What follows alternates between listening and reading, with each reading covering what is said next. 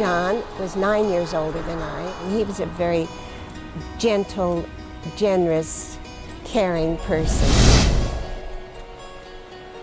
Well, Mother, I guess, had the idea that maybe he got saved somehow.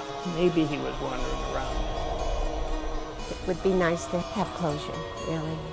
Bring him home and put him to rest.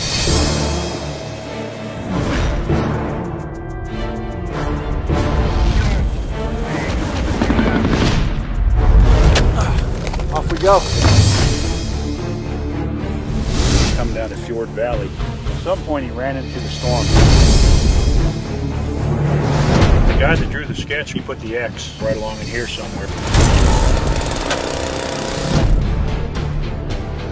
We wanted to cover all of our MIAs. That's why we're out here.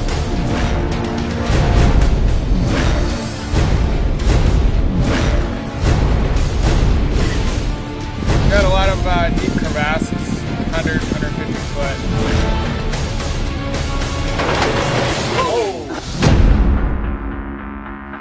These Before cases, these this cases. is our radar. These are heavy cases here. Well, it started back when I was selected to become the Lost Squadron Recovery Team back in 1989. That doesn't look like a plane. That's the primary and those are secondary? As we go down, we can see the walls of the hole. It's a round hole.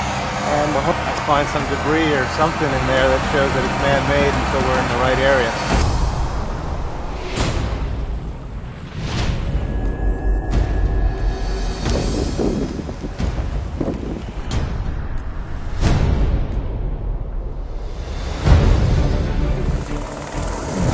Want to get Kate out there so we can start running the radar as quickly as possible. We're ready to fly. Yeah. Be safe out there. You got five days.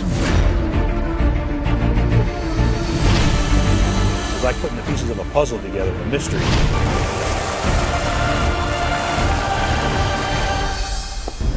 When you have a purpose like this and bringing these men home, you just do what it takes.